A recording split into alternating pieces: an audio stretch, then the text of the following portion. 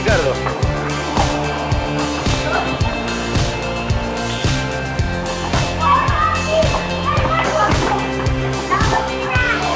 El Eric, primer lugar, muy bien.